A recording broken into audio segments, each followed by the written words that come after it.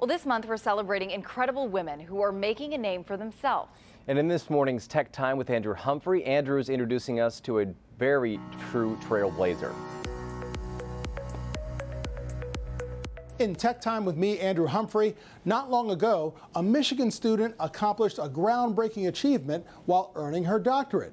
She continues by helping the world and inspiring others. Dr. Ciara Sivels is a nuclear engineer. As such, she was the first African American woman to earn a PhD in nuclear engineering from the University of Michigan, making her a pioneer.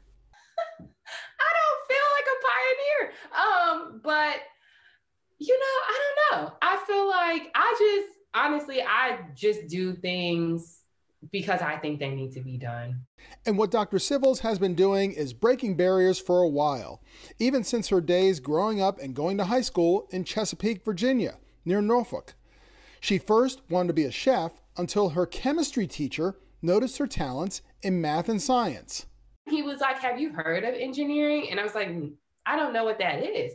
And he was saying, Well, you should go look it up. She applied to the Massachusetts Institute of Technology and became the first in her high school's history to ever be accepted. At first, she studied chemical engineering until her MIT peer host spoke up. And she was saying, Yeah, based on what you're saying, that doesn't sound like that's what you want to do. It sounds more hmm. like you want to do something like in the nuclear realm. And I was like, Okay. That led to her first degree in nuclear engineering. She was ready to teach middle school until her advisor chimed in. My advisor, again, someone just saying, hey, you know, I don't think you're giving yourself a chance in nuclear engineering. You've never done any research. So that's kind of where I made that connection. Okay, well, I'm going to go to grad school. I'm going to be academic so I can combine my love of teaching with research. And that led to the University of Michigan was kind of like, oh, I didn't really know much about Michigan. I knew it was the best school for nuclear at the time. And so when I got, you know, admitted, I was just like, man, now, now another door has opened that I gotta mm. walk through. then she walked across the graduation stage, earning her doctoral degree, the first black woman in her field to do so at Michigan.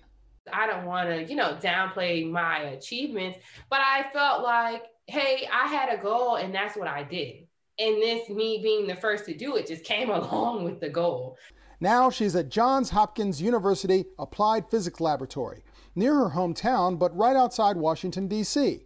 Her work is classified, but she studies the effects of nuclear material in an effort to keep the United States and the world safe and secure. How does it feel saving the world or keeping the world safe? as a problem. I see everything as a problem that has a solution. And so as long as I'm doing my job and coming up with solutions and I feel good about that, I feel, you know, that I'm doing my job.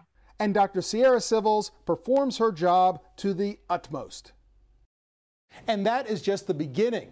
In Tech Time with me, Andrew Humphrey, we'll hear more about Dr. Sivels, her upbringing, and overcoming obstacles.